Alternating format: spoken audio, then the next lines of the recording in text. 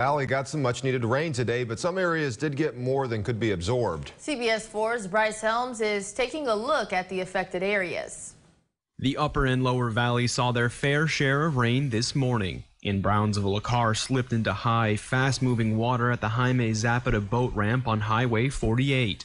That incident prompted an hours long search and rescue operation from the Cameron County Sheriff Department as well as Texas game wardens. Elsewhere in Cameron County, neighborhoods saw some flooding as drains struggled to deal with the downpour. Officials said debris on the side of the road could have contributed, and when safe, people should try and move what they can. If they are able to move any part of that brush over, all the water from alongside the streets will start draining into their proper drains. Uh, that is one of the reasons that there may be some localized flooding. The storm dumped several inches of rain throughout the valley from morning into early afternoon before letting up around 3 p.m.